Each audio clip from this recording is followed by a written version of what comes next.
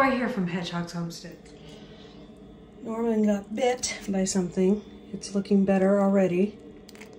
And this is what I'm doing to take care of it. I'm using some of this Vet RX Plus and uh, I just spray it on.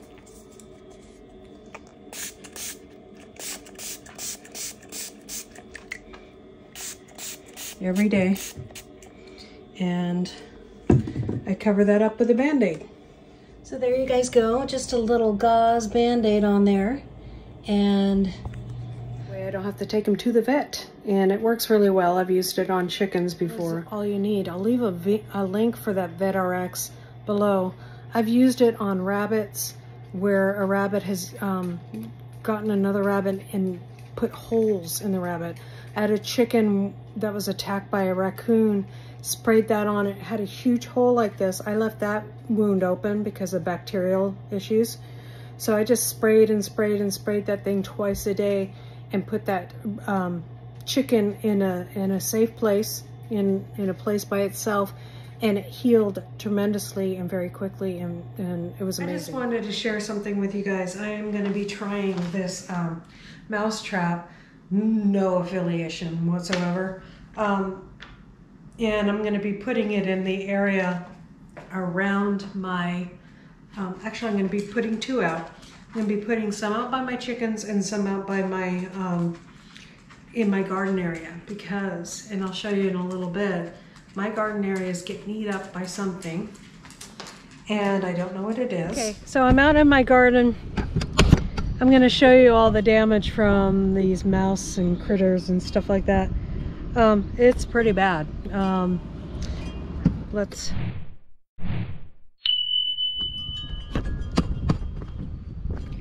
So this is my sweet potatoes. You can see they're down to nothing, basically. If, if I can get them to grow back, that will be nice. This is my beans. Uh, they got my, my peas as well. Um, I had peas growing up in here. You can see they're just little nubs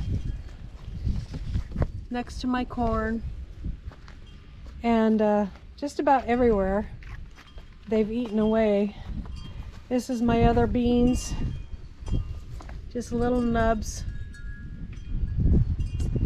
So pretty bad.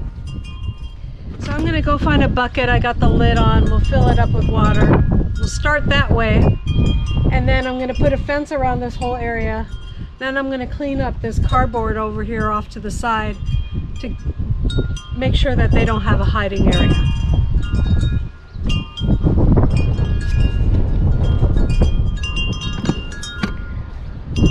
Plus, I need fence around here to keep Norman out. because once my uh, my fruit starts producing, and he likes to eat fertilizer. So you got to watch that with your dogs. I use all organic.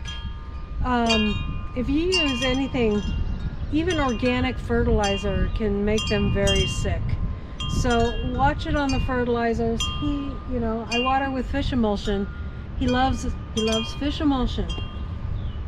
Um, I, I, I don't get it, but so he'll go in my garden beds and lick it. So that's not going to hurt him, but maybe some of the other stuff might.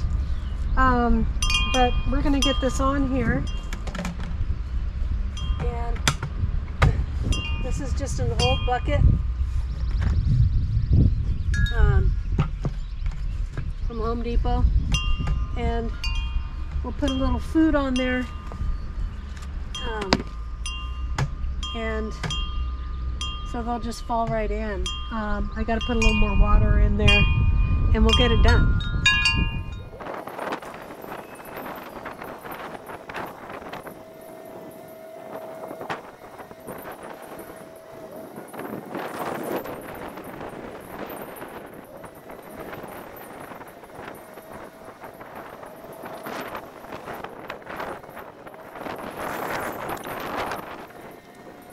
Okay, now we're gonna get some poultry fencing up around here.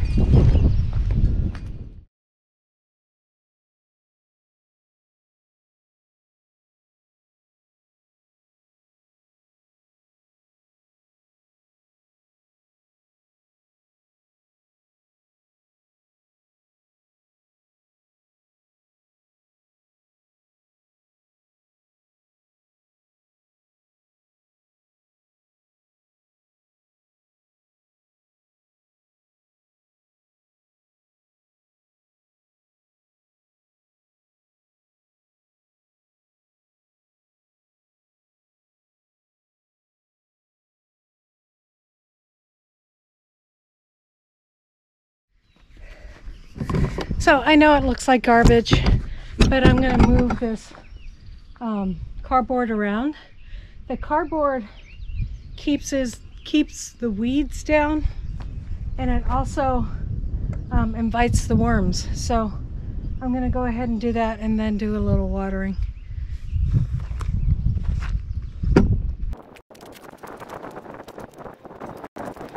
It's been a busy, well, a busy life lately. Keeping a homestead, starting a brand new homestead, working with new soil, all kinds of crazy stuff, working on pastures, um, getting animals and all that great stuff uh, on the homestead and making it happen out here. Sorry about the wind, guys. It's just how it is up here on the ridge in Tennessee. Um, so I thought I'd show you guys my progress from yesterday.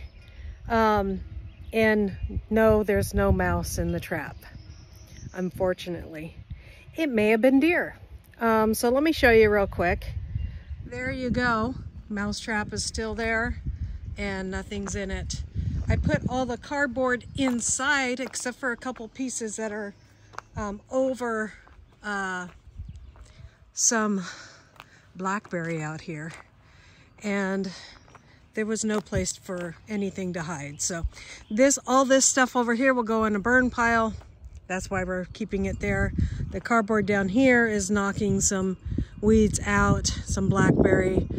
The rest of those are kind of um, flowering uh, wildflowers. So we're gonna go ahead and keep those in there. Um, but Norman is staying out of here now. Um, so no more eating uh, fertilizer for Norman over there. Um, he's doing really good with his wound um, and his wound care. So that's great. So today I'm going to do a bunch of stuff like doing some weed whacking. Look for that video because I'm going to give some cool tips for making your own your own uh, fertilizer. We'll see you next time. Thank you for coming. God bless.